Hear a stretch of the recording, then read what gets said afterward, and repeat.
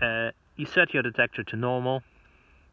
You lose your all the metal objects and if you have any metal objects like uh, phone for example try to strap it as, as, as far from your detector as, as you can. Head is the best. Set it out uh, the threshold to auto and turn it on. So when you turn it on the the uh, the arrow gonna set it like this. The arrow will go to the max and it will actually show you what's the batteries uh, are the batteries good or not. If it's a hundred it's it says basically it's a fresh battery.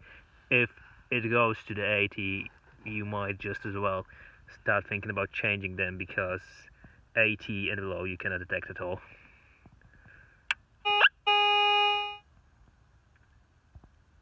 And then you yeah as you see went to 100 so the battery is brand new. When the arrow goes down you adjust the threshold to barely hearable like that. And then you put it in manual mode.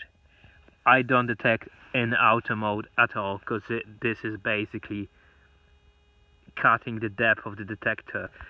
Always detect in a non-auto mode. And uh, when the detector when you shake it or, or you, you hit a, something like you walk in, in the dense forest you tend to hit a tree or something and it goes very loud. So to silence it again you just press the button and you can walk further. And if you find something like this shovel let's say you can hear it.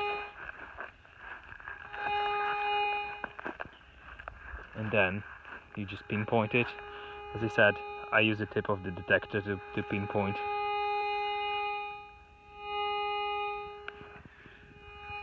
Okay